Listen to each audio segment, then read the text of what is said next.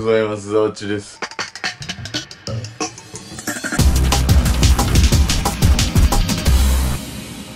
皆さん見てわかると思うんですけど、寝起きです。おはようございます。寝起きです。いつも寝起き企画の時、前日の夜に企画の入り撮ってるんですけど、今日は企画の入りを前日の夜に撮り忘れてたので、この寝起きの状況で企画を説明します。寝起きに検索してはいけない画像を調べたらどうなっちゃうの知るかボケって感じだ。ちょっとあまりにも寝ぼけててですね、さっきまであれだったんですよ。ヒップホップの最後の4小節だけ聞きながらホラー動画見たらどうなるのっていう、ちょっとマジで意味がわからん企画だとずっと思い込んでました。寝ぼけててね。まあそれはそうと検索してはいけない画像です。今まで寝起きはトラウマ動画やらびっくり動画やら出てきましたけど、検索してはいけない画像は見たことないなと思いまして、やっていきたいと思います。Let's go!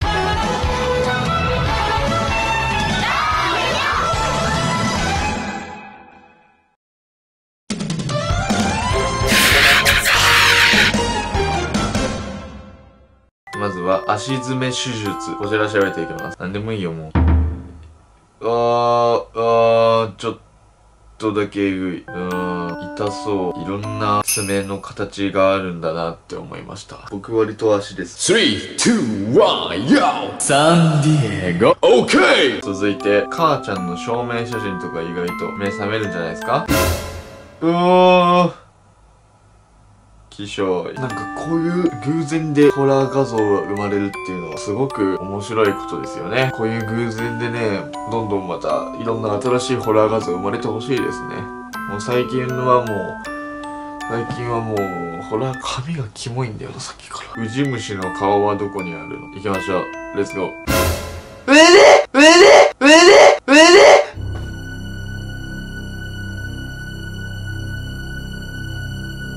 マジで一番朝から見るもんちゃうかった、本当に。ウジ虫に顔を食われたワンちゃんが出てきた。あー、マジでもう、無理だ。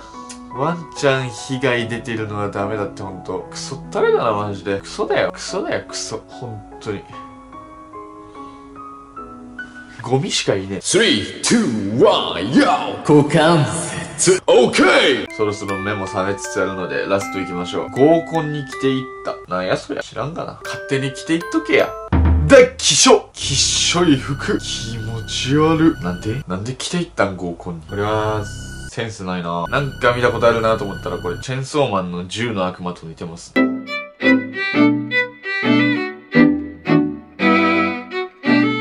はい、ということで、寝起き検索してはいけない画像でした。目は覚めました。ウジ虫のやつで一気に目は覚めましたね。今回結構適当に選んだんですけど、正直あの、ウジ虫が一番エグいなと思ったくらいだったんで、あれくらいのがバンバン寝起きに続いてたら、マジで、おかしくなっちゃうよ。とは思いました。あんまり寝起きに調べない方がいいかもしれないですね。ということで、この動画が良ければ、高評価、チャンネル登録、コメント、お願いします。それでは、また次回の寝起きでお会いしましょう。ネオならポメラニアンポメラニアンポメラニアン